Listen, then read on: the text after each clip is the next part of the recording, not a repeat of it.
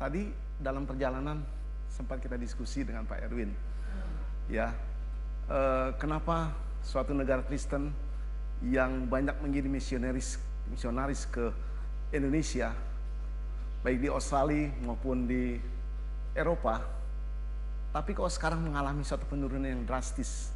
Banyak gereja yang kosong, banyak gereja yang ditinggalkan umatnya, kekristenan menjadi kering. Lalu saya bilang sama Pak Erwin, saya pun menyampaikan hal itu kepada jemaat saya di Jakarta. Hal itu bisa mungkin terjadi pada kita juga. Pada gereja kita akan ditinggalkan oleh umat Tuhan. Di mana ketika gereja Tuhan kehilangan spiritualitas, kehilangan peran Roh Kudus dalam gereja Tuhan. Itulah menjadi sesuatu kekuatan yang maha dahsyat, yang runtuh dan mulai orang melupakan hal itu. Maka mereka akan meninggalkan. Oleh sebab itu biarlah pada pagi ini kita akan diingatkan kepada sesuatu pesan Tuhan tentang spiritualitas sebagai orang percaya yang harus kita jaga baik-baik, yang harus kita keep dengan sungguh-sungguh. Maka Rasul Paulus pernah mengatakan biarlah engkau jagai keselamatanmu dengan takut dan getar. Bukan dengan asalan, dengan sembarangan, dengan kalau kita ada waktu, kalau kita ada sempat, kalau kita memang nggak punya pekerjaan baru saya jaga keselamatan itu dengan baik. Tapi Rasul mengatakan, Paulus mengatakan supaya kita jangan baik-baik, baik-baik dan baik-baik. Jangan sampai terlepas. Karena target kita tuh bukan satu target yang sembarangan atau target sedapat mungkin. Kita memang hidup ini dalam Mazmur 90 ayat 10 mengatakan 70 80. Ya. Saya sangat diberkati dengan kehidupan mami daripada Pak Agus 93 tahun. Suatu luar biasa ya. Saya bilang suatu bonus yang begitu besar. Tidak lama kita hidup dunia ini. Oleh sebab itu Rasul Paulus dengan hati-hati dikatakan supaya yuk jaga hati-hati keselamatanmu. Supaya jangan sampai hilang spiritualitas kita sebagai orang percaya. Dalam satu forum diskusi dalam komsel di tempat gereja kami, kebetulan setiap minggu saya hadir dalam komsel. Selalu ketika setiap waktu saya di Jakarta selalu saya hadir dalam komsel. Dan komsel itu berbentuk diskusi kita selalu membahas tentang firman Tuhan ya. Apa isu apa yang lagi hot di saat ini yuk kita bahas. Bagaimana sikap kita sebagai orang percaya sebagai orang yang membawa terang bagi dunia ini dapat berperan salah satunya saat itu saya angkat topik seorang hamba Tuhan seorang gembala sidang menjadi mualaf dan itu sedang tren-trennya di Jakarta dan di grup hamba Tuhan itu sangat menjadi uh, menjadi ratingnya tinggi sekali.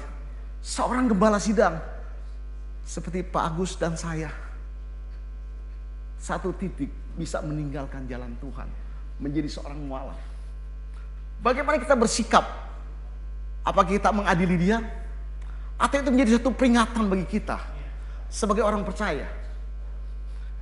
Sebagai seorang gembala, sebagai seorang lulusan seminar di Bethel, Anaknya pun lulusan sekolah sebagai Betel. Di satu titik itu terjadi penyangkalan iman. Dan itu pun bisa terjadi di antara kita. Benar? Maka dalam diskusi itu dikatakan ada tiga kesimpulan yang kita boleh boleh boleh petik. Yaitu pertama kita jangan sok kuat.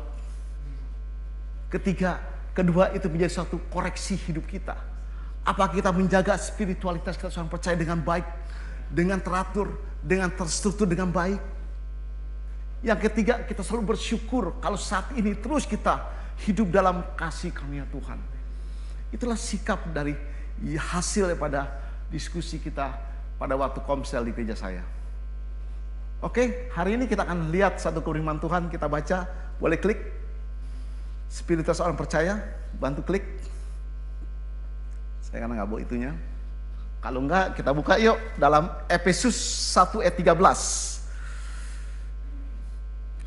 Ya, Efesus 1 ayat 13 mengatakan firman Tuhan, yaitu di dalam dia kamu juga karena kamu telah mendengar firman kebenaran, yaitu Injil keselamatanmu di dalam dia kamu juga ketika kamu percaya dimeteraikan oleh Roh Kudus. Ketika kita memulai percaya dia, kita mempercayai satu kebenaran Tuhan dalam kitab suci yang kita baca. Dan sejak itu kita timbul iman bahwa di dalam Kristus ada keselamatan dan sejak itu ada pribadi Allah hadir dalam kehidupan kita. Itulah excelnya kekristenan. Itulah satu luar biasa yang dimiliki oleh orang percaya. Karena ada pribadi Allah hadir dalam bentuk roh kudus yang mempunyai tiga unsur. Dia ada pikiran, dia ada kehendak, dia ada perasaan. Boleh diulangi? Dia ada apa? Pikiran. Dia bisa mengajak kita berpikir lebih jauh lagi. Dia apa punya apa? Kehendak. Dia taruh kehendaknya dalam kehidupan kita setiap pribadi kita.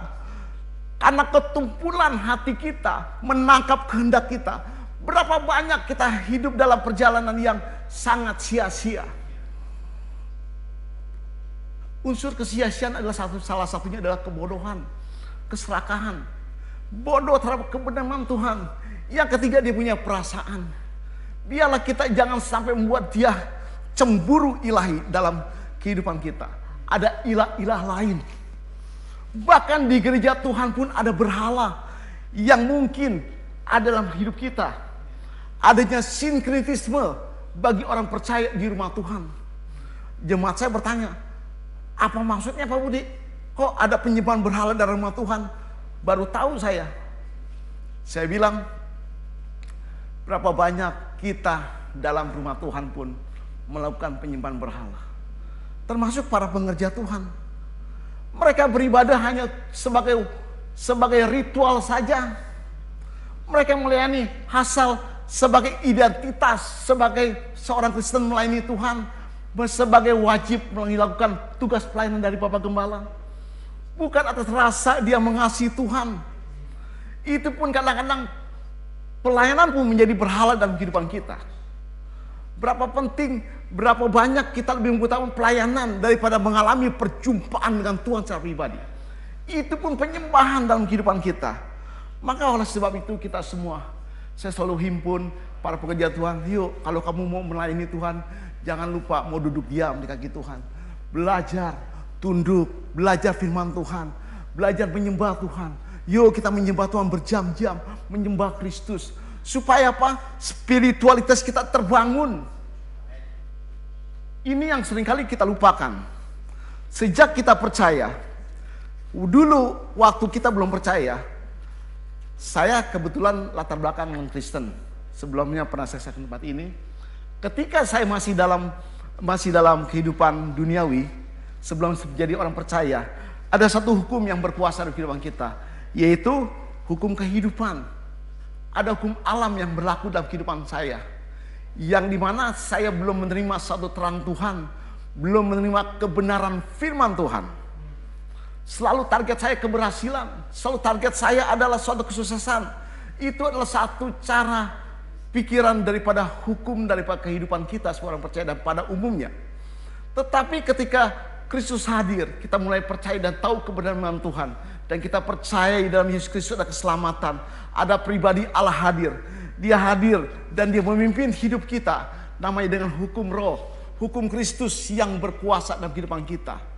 Dia akan berbanding balik antara hukum kemanusiaan kita dengan hukum daripada hukum Kristus. Ketika kita memberikan satu asupan yang baik atas kehidupan roh yang ada dalam kehidupan kita. Maka hukum Kristus terus memimpin kehidupan kita.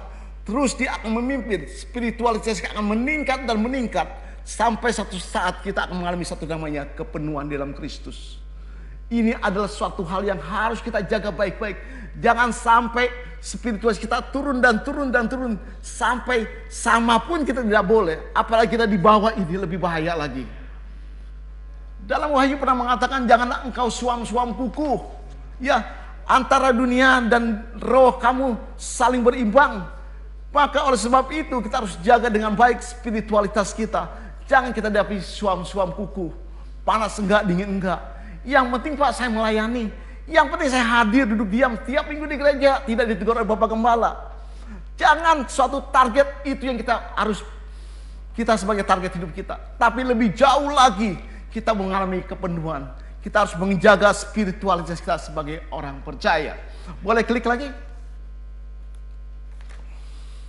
Ya, boleh klik.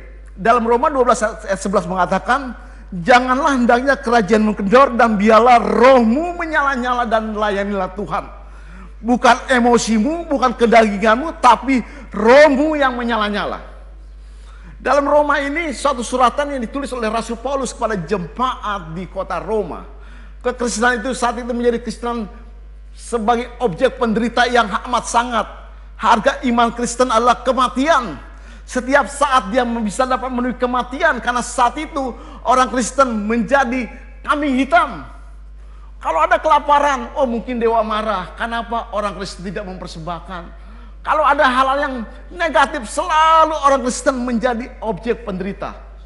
Dia adu domba, dia jadi obor hidup, dan banyak sekali mereka mengalami kematian. Tahun 2012 saya pernah ke kota Roma, saya melihat kolesium, tempat orang Kristen pernah diadu. Saya melihat di situ, ya, saya teringat akan daripada Sultan Roma ini di mana orang-orang percaya saat itu mempertaruhkan imannya. Tapi di saat perjuangan yang begitu berat, Rasul Paulus menekankan supaya spiritualitas kamu harus ditingkatkan. Bukan kedaginganmu, bukan hal-hal emosimu, tapi spiritualitas kamu harus ditingkatkan. Kita lihat berapa suatu satu hal yang signifikan. Ketika para murid sebelum mulai peristiwa penyalipan Kristus dan ketika Yesus bangkit, mereka mengalami spiritualitas begitu tinggi dan begitu kuat. Dan mereka berani dapat mendobrak di mana menjadi pekabar Injil yang begitu luar biasa. Maka oleh sebab itu biarlah kita sebagai orang percaya terus menjaga spiritualitas sebagai orang percaya. Amin. Kita harus giat, kita menyala-nyala dalam roh. Saya sering kali dalam rapat eh, dengan pengurus gereja saya, puji Tuhan, ha, mulai dua tahun lalu saya dipercayakan mengembalakan dua sidang di Gunung Sari dan di Mangga Dua, dekat belakang Mangga Dua Square. Selalu mengatakan biarlah di rumah Tuhan ini kita harus bangun sesuatu kekuatan yaitu kekuatan roh, bukan kekuatan daging. Supaya apa? Kita tidak jenuh dalam mengiring Tuhan. Jangan sampai mengalami titik kejenuhan dalam kita mengiring Tuhan. Oke, kita lanjut pada satu teks berikutnya. Ya. Dalam episode 5 18 mengatakan, "Dan janganlah kamu mabuk oleh anggur, karena anggur menimbulkan hawa nafsu, tetapi hendaklah kamu penuh dengan roh." Kata penuh ini yang saya tarik keluar. Saya melihat dalam bahasa aslinya itu dalam kata kerja yang imperfect. Di mana sesuatu yang berlangsung secara terus menerus dan berlangsung dari masa yang dahulu sampai sekarang yang harus dikerjakan terus menerus supaya mengalami satu kepenuhan. Maka spiritualitas itu tidak dapat didapati dengan tiba-tiba. Tiba-tiba orang kok spiritualitasnya begitu tinggi.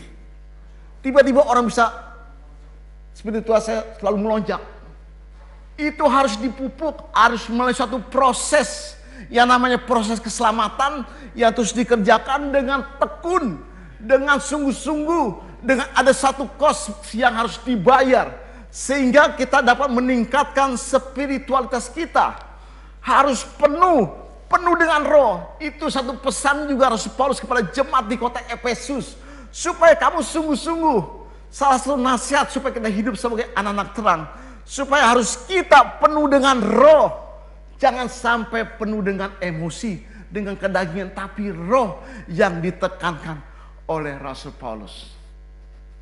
Jadi ambil sebagian besar surat 13 kota yang dikirim oleh Rasul Paulus menekankan tentang spiritualitas orang percaya. Dijaga baik-baik, jangan lengah, jangan sampai kita kecolongan. Bapak Ibu, kalau saya dalam konseling rumah tangga, Sering saya katakan ketika konflik rumah tangga terjadi, saya sering mengatakan demikian.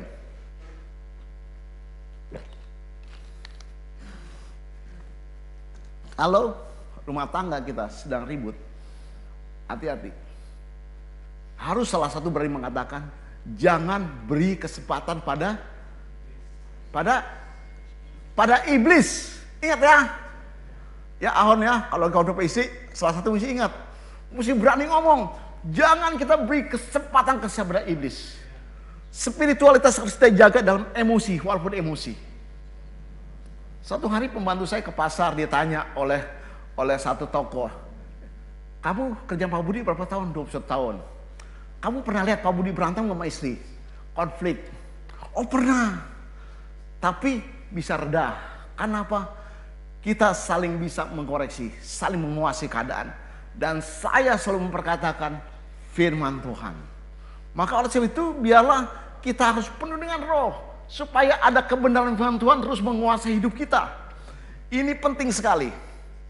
Sebelum saya berangkat tempat ini, eh, berapa minggu ini saya sangat sadar istri disibukkan oleh malum gembala. Kalau jemaat meninggal mesti buru-buru pulang, walaupun saya dalam pada dalam pelayanan misi. Kebetulan minggu lalu saya mengkonseling ada satu rumah tangga. Usianya itu bukan usianya muda di bawah saya, tua di bawah saya. 65 tahun. Suami istri. Konflik. Konflik luar biasa. Salah satu sudah ambil pisau. Waduh. Saya ini masih muda jauh. Dan saya harus menuntakan ini PR. PR gembala. Ini juga resiko. Kalau gembala hidupnya dekat dengan jemaat. Nggak jauh. Jadi kadang-kadang tengah malam diteleponin ada yang sakit keras, mesti bawa ke rumah sakit. Diteleponin nanti ada yang ribut diusir, kita mesti datengin. Tengah malam diteleponin, konflik sampai panggil polisi segala. Kebetulan saat itu saya ada di luar kota, saya sedang melakukan perjalanan misi ke kota Solo. Saya bilang saya bisa tidak hadir. Anaknya masa sesuai-sesuai hadir. Saya bagaimana hadir? Saya di kota Solo, bukan di Jakarta. Saya bilang besok saya pulang.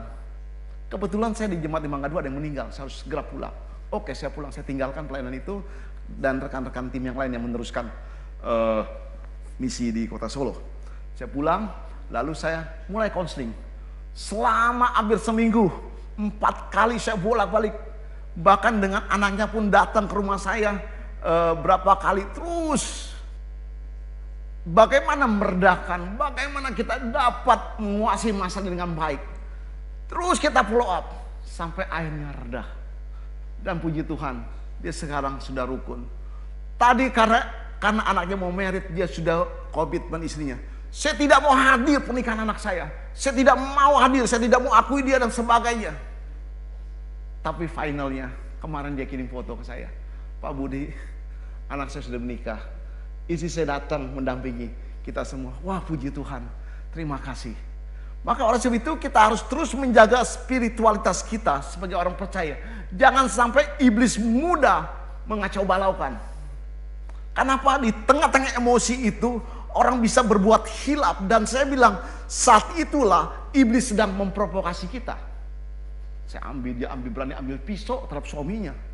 Sudah umur 60 tahun, 60 tahun lebih. Usia pernikahan 39. Udah saya cap kau. Ya, Udah 39 tahun. Saya baru 24 tahun. Seharusnya bela saya belajar dengan dia. Tapi saya berusaha untuk berikan sesuatu masukan ke kedua pihak. Istri saya berjuang, saya gak berjuang. Saya nasihat suaminya, istrinya nasihat istrinya. Terus bulak balik, bulak balik, bulak balik. Ya puji Tuhan, akhirnya finally dia bisa hadir di pernikahan anaknya. Wah anaknya senang sekali. Terima kasih Pak Budi. Alah, mama saya bisa hadir, mama saya bisa reda, mama saya bisa menguasai keadaan dan sebagainya suatu hal yang luar biasa. Di mana kita harus menjaga spiritualitas itu. Oke, okay. itu boleh klik berikutnya pada teks berikutnya waktu berjalan terus. Ya, spiritualitas orang percaya itu berdasarkan sampai sejauh mana orang percaya yang sudah dilahirkan kembali oleh Roh Kudus mengizinkan Roh Kudus memimpin dan menguasai hidupnya. Itulah spiritualitas Semakin kita terus memberikan asupan kepada roh kita dengan mulai hidup dalam kebenaran, kita selalu mau menggali firman Tuhan. Selalu kita menjaga hidup dalam penyembahan, ada intimasi, ada keintiman dengan Roh Kudus.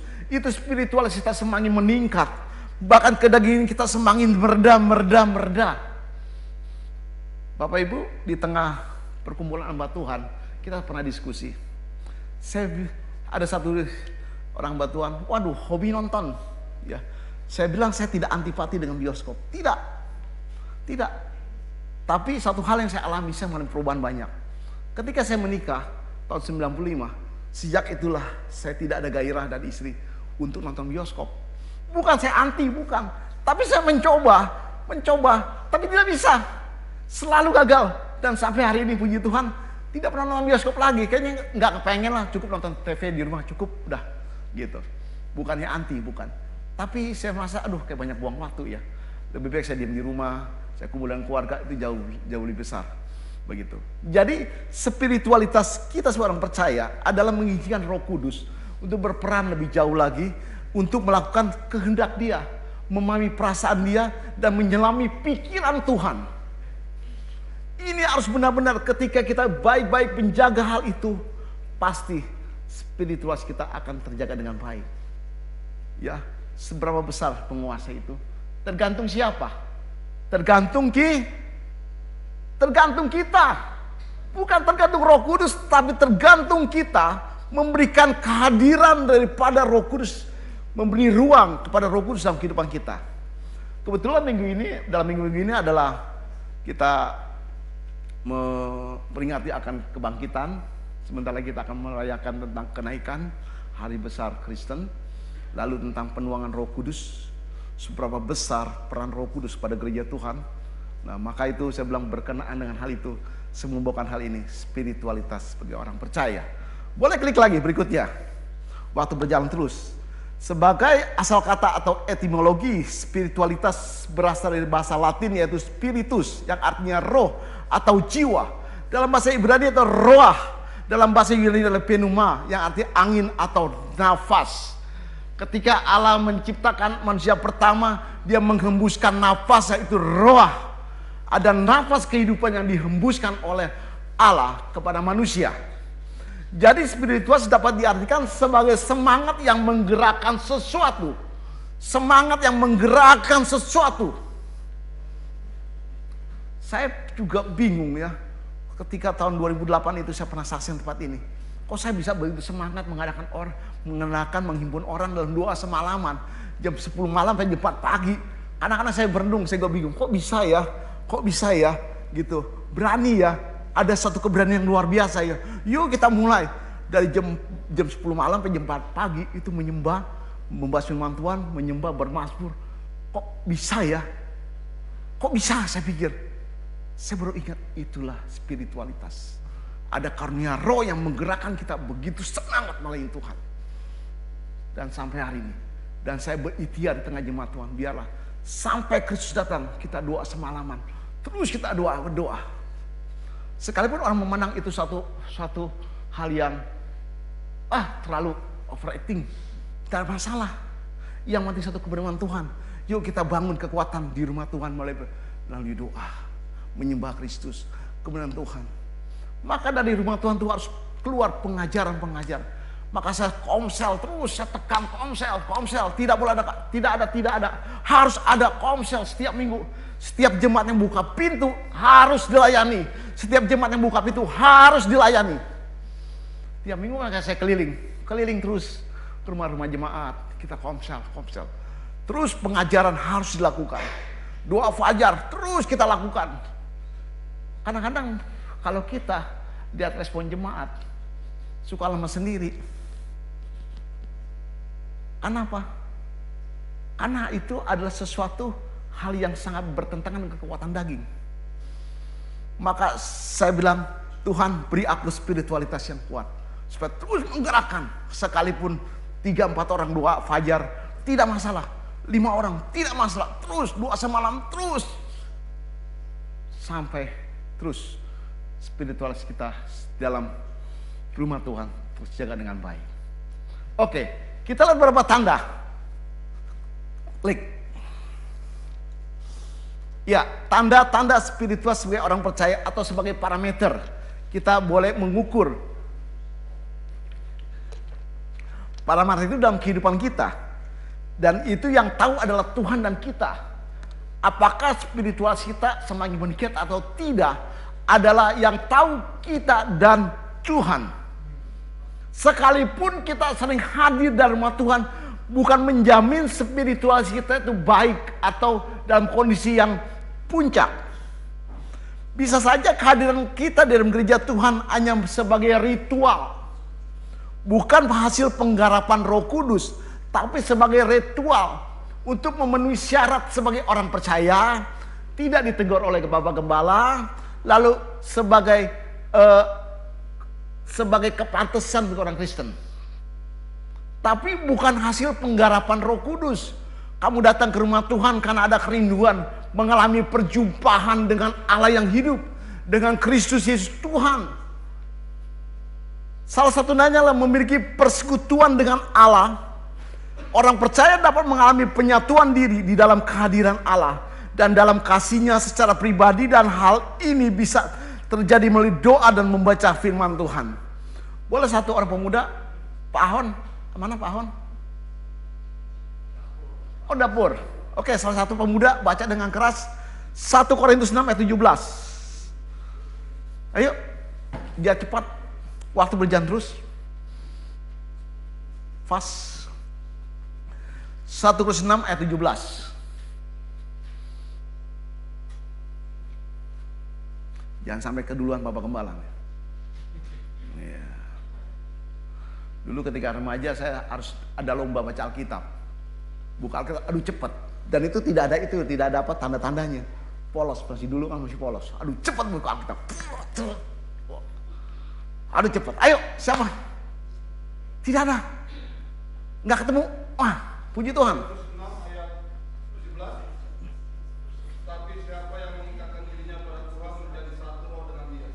Menjadi satu roh siapa yang mengikatkan diri Mengikat itu kata aktif dari pihak kita, bukan Tuhan. Tapi kita ketika kita mau mengaktifkan diri kita untuk mengikatkan diri kepada Tuhan, kita akan menjadi satu roh. Roh kita akan kemis dengan roh Tuhan.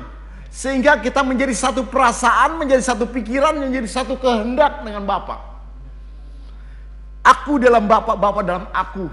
Maka setiap apa yang Yesus lakukan dalam pelayanan dalam dunia ini selalu tidak luar, tidak dapat di luar konteks di luar kehendak Bapa, selalu di dalam kehendak Bapa. Sampai itulah yang memimpin dia sampai kepada titik kematian. Inilah menjadi suatu hal yang penting.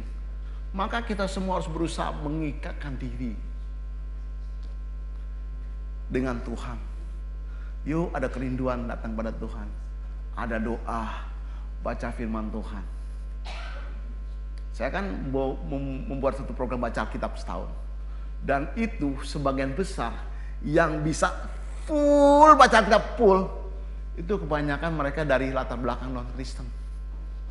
Yang Kristen lahiriah kebanyakan nggak sampai selesai. Tapi justru mereka yang non Kristen dari Muslim yang dari Buddha mereka rata-rata boleh kata sebagian besar tuh bisa sampai masuk sampai akhir. Awal tahun kita mulai dari kejadian lagi. Kita terus dan tiap tahun meningkat. Tiap tahun meningkat. Tiap tahun meningkat. Terus saya push jemaat yuk.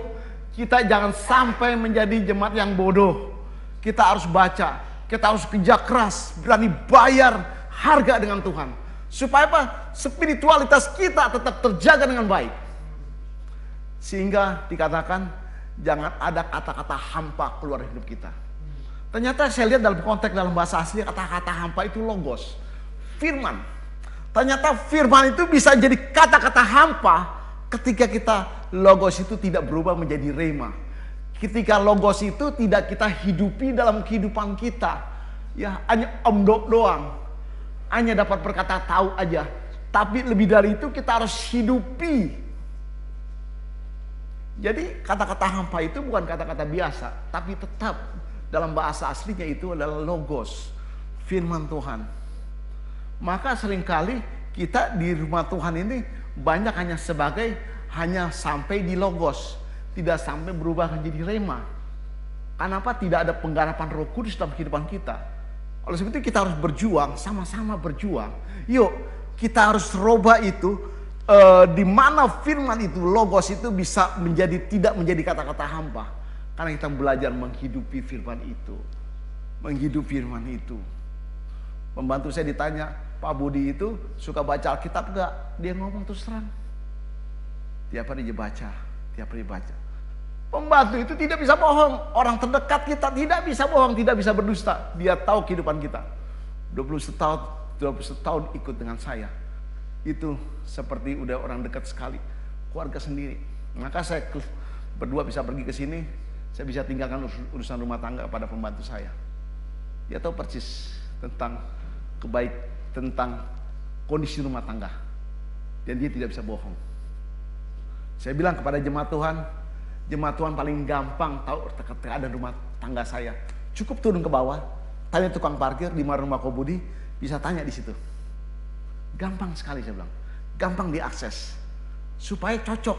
Maka saya bilang, kalau ketika kita saya membawakan firman Tuhan menjadi pergumulan yang berat. Kenapa? Kita harus mencoba apa? Belajar menghidupi firman itu. Dan itu tidak gampang. Harus sungguh-sungguh. Supaya tidak menjadi kata hampa-hampa. Kata yang hampa dalam kehidupan kita.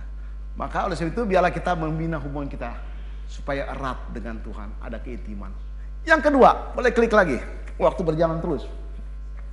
Selalu berusaha hidup dalam kebenaran. Dalam Yohanes 16 13 mengatakan tetapi bila ia datang yaitu roh kebenaran atau roh kudus ia akan pimpin kamu kepada seluruh kebenaran. Sebab ia akan berkata-kata dari dirinya sendiri tidak akan berkata dari diri sendiri tetapi segala sesuatu yang didengarnya itulah yang akan dikatakannya dan ia akan memberitakan kepadamu hal-hal yang akan datang. Dia akan memberitahukan kepada kita. Luar biasa firman Tuhan itu. Luar biasa Ketika saya baca firman Tuhan, kadang-kadang di kantor saya baca Alkitab bisa sampai meneteskan air mata. Saya menangis. Bagaimana roh kudus itu bekerja luar biasa. Luar biasa. Maka kita tidak boleh menganggap enteng peran roh kudus di depan kita. Karena dia akan mendorong kita dalam hidup dalam kebenaran-kebenaran. Mau nggak mau terus kita digiring. Penggarapan roh kudus itu bekerja. Mendorong kita didorong terus untuk dalam hidup dalam kebenaran. Bagaimana kita tahu kita tahu kebenaran kalau kita tidak membaca kitab suci tiap hari. Maka itu penting. Kita harus baca kitab suci, lalu Roh Kudus akan bekerja menggarap hidup kita. Kita didorong dalam kebenaran Tuhan. Maka kita ada keberanian. Maka saya sering kali dalam konseling rumah tangga, kebetulan tahun ini ada dua jemaat yang menikah. Saya akan pulang nih ke Jakarta, mulai mengadakan BPN, bimbingan pranikah. Saya bilang 12 sesi saya siapkan. 8 sesi prinsip pernikahan, 4 sesi mengolah konflik menjadi berkat. Karena ini penting, dalam rumah tangga itu harus kuat. Kebetulan bulan depan kita banyak bicara soal rumah tangga. Tema besar daripada gereja pusat saya, eh, bulan depan itu bicara soal keluarga. Bagaimana membina keluarga yang kuat. Family strong. Karena melalui keluarga yang kuat menuju suatu gereja yang kuat. Rumah tangga rapuh, gereja pun akan mendapat impact, dampak rapuh juga. Maka keluarga itu harus diperhatikan dengan baik. Firman Tuhan mengatakan siapa yang tidak memperhatikan sanak keluarganya, dia adalah orang yang murtad. Itu firman Tuhan mengatakan. Maka oleh itu biarlah ini kebenaran yang harus didorong. Jangan kita jago di gereja tapi lemah di rumah. Jago di rumah Tuhan tapi kita lemah di pekerjaan. Kita jago di rumah Tuhan tapi di luar kita lemah. Kita kelihatan aslinya itu di rumah tangga kita. Maka kita harus berusaha dalam hidup kebenaran. Biarlah kebenaran itu harus keluar dari apa? Dari hati kita, dari perbuatan kita. Dan diketahui oleh apa? Orang dekat kita. Istri kita, suami kita, anak kita. Orang tua kita. Jangan orang jauh mengatakan kita baik, kita benar. Tapi orang dekat mengatakan dia orang tidak benar. Jangan. Tapi kebenaran itu harus melalui hidup kita. Saya mengatakan dalam dalam konflik rumah tangga kemarin tuh, coba ibu belajar melepaskan pengampunan. Sekalipun anak ibu sudah minta maaf, ya, dia pun belum tentu merasa bersalah, tapi saya sudah dorong untuk minta maaf. Suaminya pun sudah merasa saya nggak salah apa-apa Pak Budi, kok saya harus minta maaf? Belajar, ini firman Tuhan saya bilang. Kita harus hidup dalam kebenaran Tuhan. Kalau Bapak ini, saya melihat Bapak akan dipakai oleh Tuhan naik level ke jenjang lebih tinggi lagi. Ayo minta maaf, belajar minta maaf. Tadi sudah minta maaf, tetap ibu ini bersikeras. Saya bilang sama istri, ini urusan roh kudus. Diberesin oleh roh kudus. Di. Kalau anak sudah datang minta maaf, sampai ceritanya sangat sedih juga. Dia itu ambil baskom, lalu dicuci kaki ibunya, airnya diminum Itu untuk minta maaf. Masih tidak maafkan. Lalu suaminya gak bilang, ya udahlah, aku minta maaf kalau gak salah. Iya, gini gini gini. Tapi tetap gongkong. Lalu anaknya pun berulang kali minta maaf di depan saya. Saya bilang boleh gak? Saya undang anak kamu datang sini, saya dampingi sama istri. Oke boleh, datang. Minta maaf, tidak mau juga, disalamin gak mau, gak mau. Dia bilang udah, saya istri diskusi. Yang penting kita sudah lakukan maksimal kebenaran Tuhan. Selanjutnya Roh Kudus nih, urusan Roh Kudus kalau begini nih. Itu Roh Kudus yang yang mengubah. Pak. Puji Tuhan. Satu hari, dua hari sebelum saya berangkat, itu satu hari sebelum berangkat suaminya telepon saya. Pak Budi saya gak bingung, kenapa ini? Sebelumnya saya lihat tuh kayak ada kuasa, kok sekarang nih Tuhan rubahkan. Tuhan lulukan hatinya. Tuhan ubahkan dia bisa mengampuni kita semua dan dia mau hadir dalam pernikahan anak kami. Saya bilang itu adalah Roh Kudus punya pekerjaan. Luar biasa. Yang kita yang penting bagian kita melakukan kebe, kebenaran. Selanjutnya penggarapan Roh Kudus dalam kehidupan kita. Ya. Saya bilang saya pun berani minta maaf kepada anak saya. Saya dan istri berani minta maaf kepada anak saya. Sekalipun saya merasa kok saya nggak pernah salah ya Ya, kalian salah. Tapi saya belajar. Saya minta maaf anak saya. Anak saya yang di Australia ini, atau yang di, di rumah, saya bilang, kalau papa mama punya salah, papa mama minta maaf. Mungkin kamu terluka, mungkin kamu ada satu hal yang tidak menyenangkan dalam kehidupan papa mama. Saya minta maaf. Saya rindu. Biarlah kita belajar, yuk kita belajar melakukan kebenaran firman Tuhan. Walaupun itu berat. Karena itu menjadi satu tanda apakah spiritualitas kita masih hidup atau tidak. Masih di tengah-tengah level atau tidak. Ini satu tanda kita rindu melakukan kebenaran Tuhan. Amin. Oke, okay, teks berikutnya. Waktu berjalan terus. Ya. Milikilah kehidupan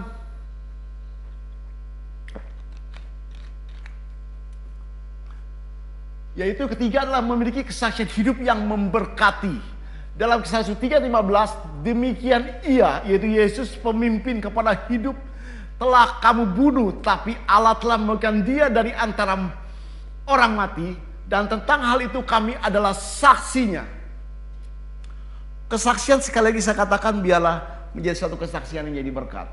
Dan dimulai dari keluarga inti. Ya, kita harus dapat kata baik dari suami.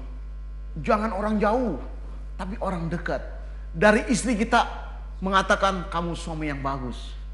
Dari suami kita mengatakan kamu istri yang bagus. Dari anak kita mengatakan kamu adalah ayah yang baik. Orang tua yang baik. Engkau orang baik. Tetangga kita mengatakan kamu adalah orang baik. Jangan orang jauh dulu, tapi orang dekat dimulai terus, terus, terus. Karena itu kesaksian itu membawa dampak, ada impartasi dalam kehidupan kita. Jangan sampai orang dekat pun mengatakan, uh, gue sebel sama dia tuh. Ada dia biang kerok tuh. Ada dia tuh tidak menyenangkan.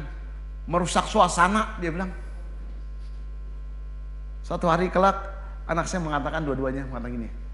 Kalau aku ingin punya seorang suami, ingin seperti papa. Berarti kehidupan kita menjadi berkat bagi anak kita. Walaupun bapaknya nggak ganteng-ganteng banget, ya tapi lumayan lah. Ya Kairin ya. Gitu. Tapi minimal jadi idola. Jangan sampai tidak menjadi idola. Gue nggak mau ya. Nanti anak apa saya kalau punya suami jangan seperti bapak gue teh. Saya benci sama orang tua saya. Ah. Kalau anak aja tidak dapat kita tidak dijadikan idola itu tanda tanya. Kalau kita aja kehidupan istri tidak menjadi idola bagi anak. Anaknya tidak akan jadi impian, tidak menjadi cita Kalau saya ingin mempunyai suatu istri, seorang istri, jangan sampai seperti mama saya. Jangan sampai. Tapi biarlah itu jadi kerinduan anak kita. Kalau saya punya seorang istri atau suami atau seorang suami seperti papa mama saya. Ada kerinduan itu menunjukkan juga kita menjadi keluarga yang se Se sehat. Kalau kita sebagai orang tua tidak menjadi idola anak, itu menjadi kekhawatiran. Jangan sampai kita jago di gereja. Hal ini pun menjadi khotbah saya. Sebagai Tuhan, saya berusaha mengayomi kedua anak. Sekuat tenaga. Maka saya bilang sama istri, yuk kita sekuat tenaga. Yang penting kita benar, selanjutnya roh kudus akan menggarap mereka berdua. Kebetulan saya punya dua putri. Gitu. Ada namanya manusia itu ada usaha maksimal. Kadang-kadang kita belum maksimal udah nyerah. Tapi biarlah kita terus terus melakukan kebenaran itu sampai ada satu titik kalau memang di luar kemanusiaan kita, kekuatan kita, saya serahkan, kita keras serahkan pada Roh Kudus yang akan mengerjakan itu. Yang penting kita memiliki kesaksian yang memberkati. Amin. Bagian terakhir, yang keempat, Bapak Ibu lega, saya pun lega. Terakhir, oke, okay yaitu memiliki pengharapan. Dalam Roma 8 ayat 35 mengatakan siapakah yang akan memisahkan kita dari kasih Kristus? Penindasan, kesesakan, penganiayaan atau kelaparan atau ketelanjangan atau bahaya apa pun tidak dapat memisahkan karena adalah suatu dorongan yang begitu kuat, ada pengharapan yang begitu kuat bagi orang percaya. Saya tidak bicara materi, tapi saya bicara bagaimana orang percaya memelihara iman dengan baik. Saya katakan dalam diskusi uh, komsel saya, apa sih sekarang aniaya orang Kristen di, di tempat kita sebagai orang percaya di Jakarta ini apa aniaya? Fisik? Oh tidak, dia bilang. Apa? Diludahi? Enggak. Apalagi kira-kira? Apa ya? Lalu ada satu ada satu jemaat mengatakan, oh iya, hedonisme pak, yaitu gaya hidup itu sebagai aniaya orang percaya. Sehingga mereka hidup dalam kenyamanan. Merasa ya saya udah cukup masuk dalam zona aman. Sehingga nggak perlu lagi kita terlalu terlalu banyak berharap. Itulah yang membuat satu titik bahaya. Kita merasa aman, zona aman. Cukup makan, cukup pakai, kerjaan bagus dan sebagainya. Kita tidak perlu. Padahal itu satu tantangan aniaya yang besar. Salah satu teolog mengatakan, kalau kalau kita ingin menghancurkan orang percaya, gampang. Kasih kesibukan, kasih kesibukan, kasih kesibukan. Hancur spiritualitas dia. Karena mereka lebih fokus kepada hal-hal yang lahiriah. Gaya hedonisme itu semakin meningkat dalam kehidupan dia. Karena mereka targetnya adalah satu keberhasilan. Suatu prestasi, suatu hal yang digapai dengan begitu rupa. Bukan perkenanan hati Bapak kalau kita sebagai orang percaya adalah targetnya untuk memperoleh perkenanan hati Bapa di surga. Jadi udah beda target. Maka kita harus selalu waspada dalam setiap waktu. Ini firman Tuhan sangat sebat sekali. Luar biasa sebatnya. Dan setiap ayat itu sangat bertalian satu sama lain. Dan saling mendukung. Saling mendukung. Apa yang kita kerjakan saat ini adalah bukan hanya untuk dalam dunia ini selama 70-80 tahun. Tapi lebih dari itu untuk kita masuk dalam masa kekekalan. Amin. Jangan sampai spiritualitas kita padam ketika hari penghakiman kita. Karena satu hari pun, satu hari kelak pun kita akan sama-sama menghadap tata pengadilan Kristus. Dan itu menjadi satu kebenaran yang tidak dapat kita tolak sekarang ini banyak sekali di Jakarta saya lihat banyak orang-orang yang mati mendadak. Ya, mendadak sekali. Bahkan jemaat saya pun mendadak. Saya lagi ada renovasi satu ruko. Ya, masih kerja dengan saya, bantu karena dia masih ada waktu luang, saya suruh renovasi. Sabtu itu terakhir dia kerja karena sudah finish, sudah mau serah terima Pak. Hari Jumatnya saya ada di kota Solo. Jumat malam mulai sampai, lalu Malam tuh masih main dengan anak-anaknya, foto-foto dan tertawa. Jam 10 saya dipanggil Tuhan. Istrinya telepon saya, saya sudah mau udah mau tidur, dia telepon, nangis-nangis. Kenapa? Kenapa kamu nangis? Si itu pulang pak, pulang ke mana? Pulang ke sorga, waduh, begitu cepat umur 40, 41 masih seger, masih seger. Ya, itulah kematian. tidak ada yang tahu kapan waktunya. Maka oleh sebab itu ingat jaga spiritual kita dengan baik. Jangan sampai kita padam. Amin. Inilah satu kebenaran Tuhan. Kiranya Tuhan Yesus berkati. Yuk kita bagi berdiri. Kita angkat satu pujian. Sungguh besar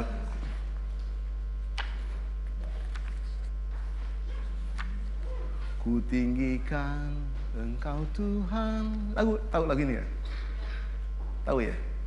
Sungguh besar setiamu nyata di sepanjang hidupku. Ya, pemain musik mana?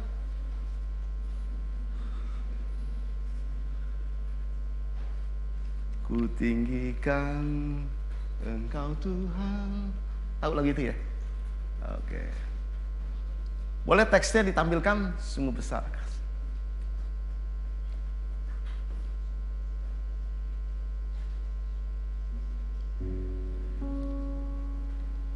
Media tahu di G?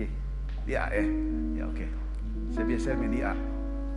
Sungguh, sungguh besar setiamu Nyata di sepanjang hidupku Darahmu telah layakkan kehidupanku. Tiada kata yang bisa Tiada kata yang bisa Lukisan Lukisan indahnya kau Tuhan. Bagimu segala pujian Dan kemuliaan. Ku tinggikan kau Tuhan. Ku tinggikan Engkau Tuhan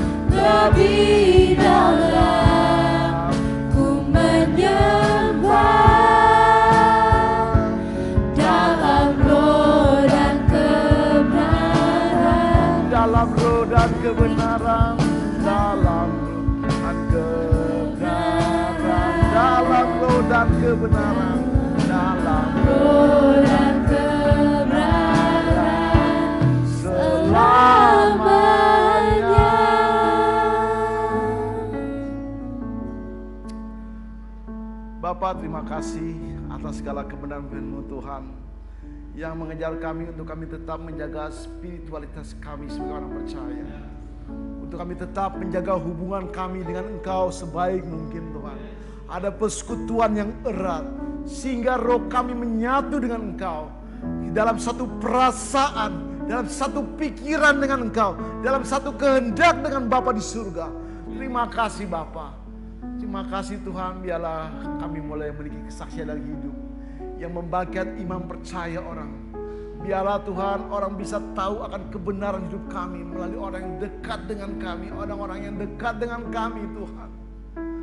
Terlebih lagi kami sebagai orang kumpulan orang percaya, biar kami boleh hidup saling memberkati sama lain. Dan juga Tuhan beri kami kekuatan untuk kami selalu hidup dalam kebenaran firman-Mu Tuhan. Oleh itu biarlah kami boleh bertumbuh dalam kami terus membaca firman-Mu Tuhan setiap hari. Melakukan kebenaran menghidupi firman-Mu Tuhan setiap hari. Terima kasih Bapa, hambamu terbatas bicara. Dan selanjutnya roh kudus akan bekerja. Roh kudus akan menggarap hidup kami Tuhan. Karena kami tahu Tuhan, ada satu pengharapan yang besar daripada Engkau. Sehingga kami boleh sampai titik akhir hidup kami Tuhan. Kami tetap percaya, kami tetap beriman, kami tetap on fire di dalam Engkau Tuhan. Karena kalau sumber pengharapan kami yang hidup. Terima kasih Bapa, hamamu terbatas bicara. Kiranya roh kudus terus Tuhan akan tertanam dalam kehidupan kami yang mengerjakan dalam kehidupan kami Bapak. Terima kasih Bapak, terima kasih. Di dalam nama Tuhan Yesus, kita semua yang percaya sama-sama katakan amin.